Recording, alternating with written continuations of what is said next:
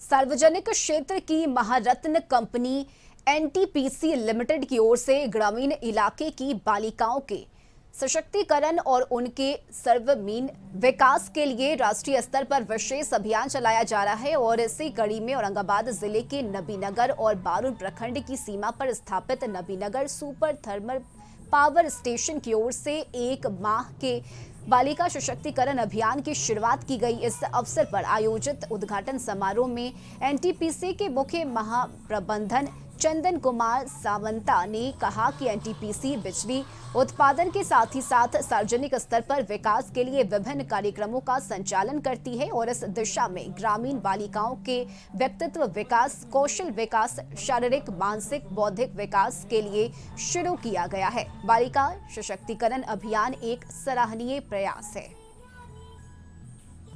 Last year भी हमने 40 बच्चों को किया था, इस साल भी हमारे पास 40 बच्चों का है। ये हमारा एनटीपीसी का एनटीपीसी फाउंडेशन के द्वारा इसको किया जा रहा है।